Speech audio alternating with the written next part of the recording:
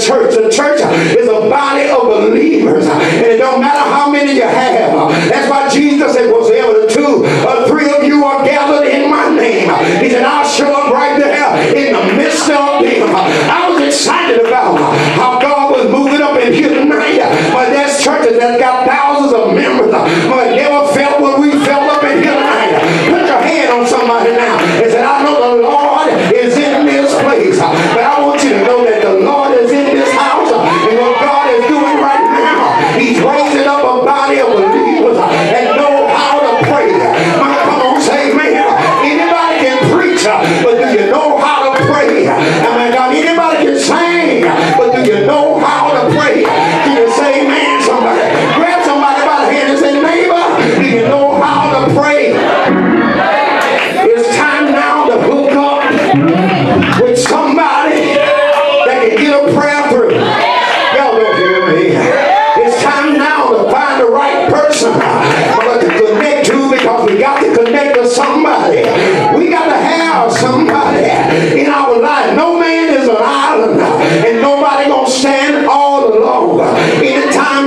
somebody and don't want nobody else around them, but they in the world of trouble. That's what happened to Samson.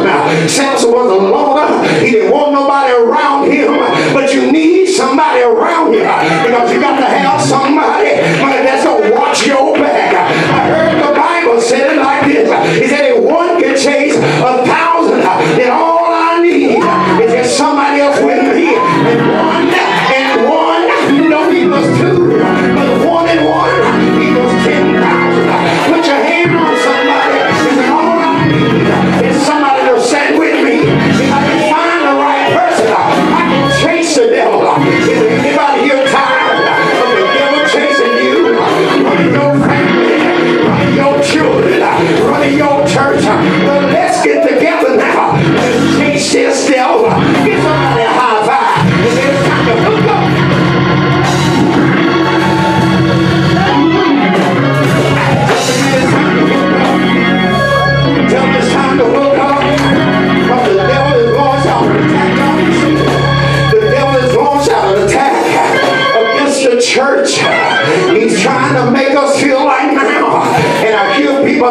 on Facebook. My God, the social media is, a, is an enemy to the body of Christ. It's making the church weak. It's making the people feel like now I don't have to go to a church. And there's people on the Facebook page right now. They'll say you don't need to go to church anymore. They'll say you don't need no leaders. They say you don't need no pastor.